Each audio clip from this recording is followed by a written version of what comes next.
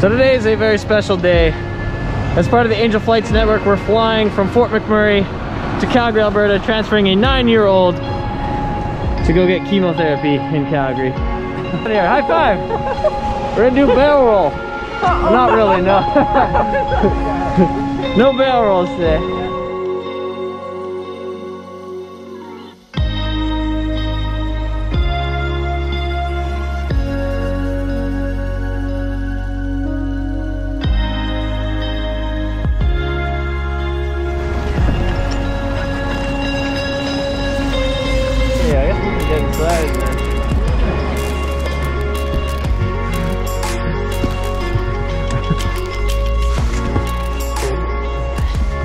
Did this so backwards, but rough wagon.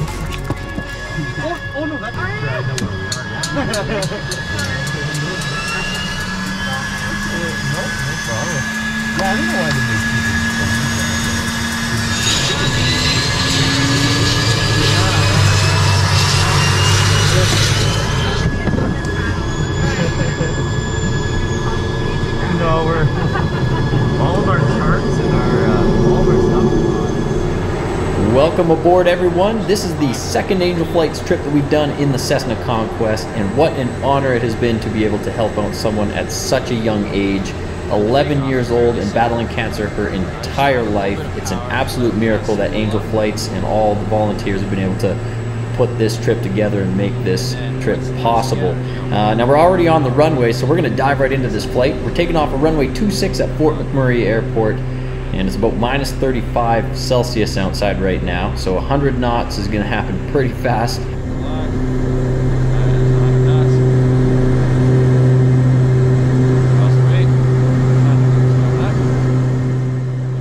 Bringing the landing gear up, making sure everything functions as it should.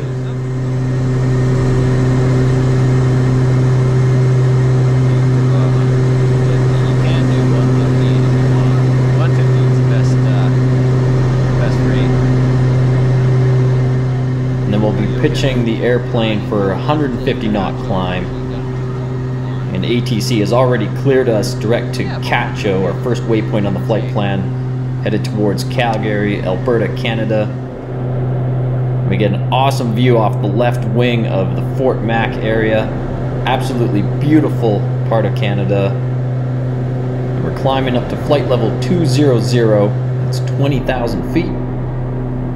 Pratt & Whitney engines just humming along nicely at 1900 RPM. And that's Lauren there in the aft-facing seat. I don't know, I'd make a funny face, but you can't see my face. and Lauren's mom in the most rearward seat of the airplane. And that's my brother Kale there. Usually he's up front flying with me. But right now he's acting as flight attendant, keeping everybody entertained in the back.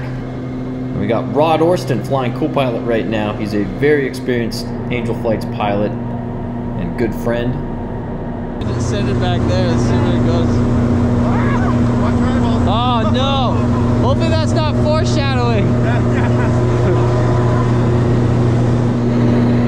It's about minus 48 degrees Celsius at flight level 200. With the sun shining through all the windows, it keeps the airplane fairly warm inside. We don't even have to use the auxiliary heater.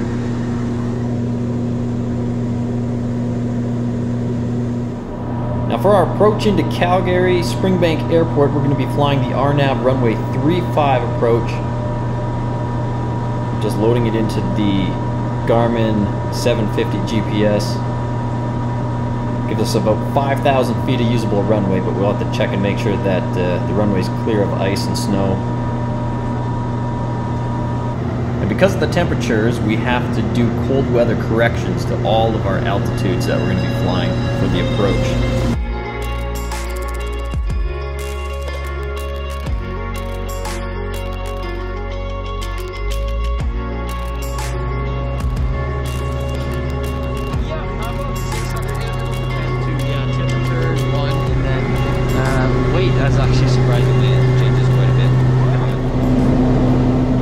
Here we are, about to turn final at the waypoint Seachem. You can see it on the chart there. And that will line us up for runway 35. Visibility's pretty good, but it looks awfully cold down there. There's a few clouds just below us. but we should be below those uh, well before we hit our final approach fix.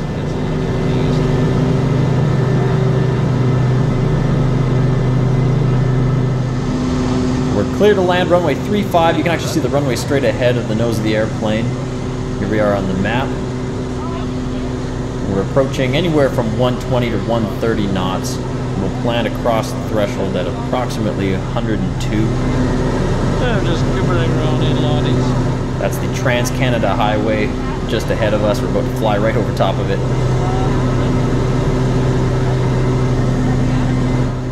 Our checklists are complete.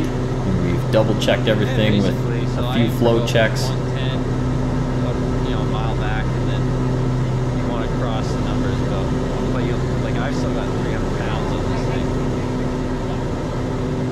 Like I said, we're aiming for 102 knots across the threshold, and we're just going to fly the airplane to the runway.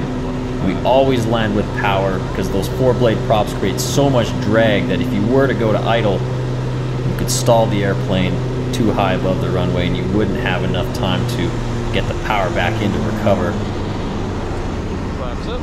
So we always land with about 200 to 300 foot pounds of torque per engine.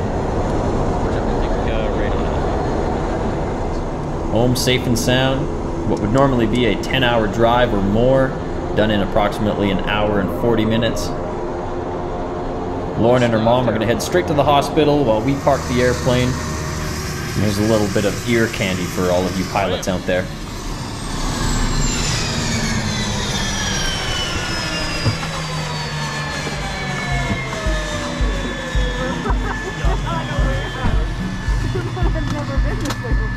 So, how was the flight? It was good. It was entertaining. Oh, you're bu- oh busy My building goodness. airplanes back here. Was it fun? No one scared you? yeah, this is like Boeing versus Airbus happening. That's exactly what I was thinking, and they're both gonna MCAS. They're both gonna MCAS. Oh yeah, one's got MCAS, so it's probably.